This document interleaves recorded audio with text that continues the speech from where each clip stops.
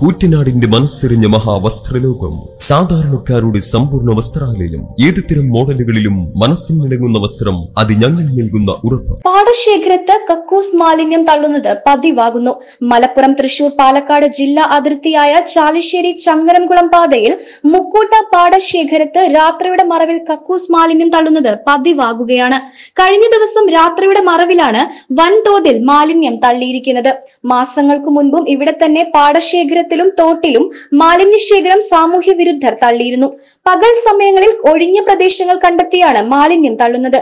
Chemical ചേർത്താണ് മാലിന്യം കൊണ്ടുവന്നിടുന്നതെങ്കിലും കെമിക്കലിന്റെ ശക്തി കുറയുന്നതോടെ രൂക്ഷമായ ദുർഗന്ധമാണ് അനുഭവപ്പെടുന്നത്.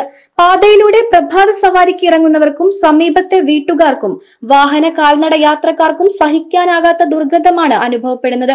മൂന്ന് ജില്ലകളുടെ അതിർത്തി സ്ഥലമായ ഇവിടെ വിജനമായ സ്ഥലമായതുകൊണ്ട് തന്നെ മാലിന്യം നിക്ഷേപിക്കുന്നവർക്ക് മറ്റ് തടസ്സങ്ങളില്ല. പാതയിൽ C C T V camera ഉൾപ്പെടെ സ്ഥാപിക്കണമെന്നും നിയമപാലകരും പഞ്ചായത്ത് അധികൃതരും നടപടികൾ സ്വീകരിക്കണമെന്നും നാട്ടുകാരും കർഷകരും ആവശ്യപ്പെട്ടു.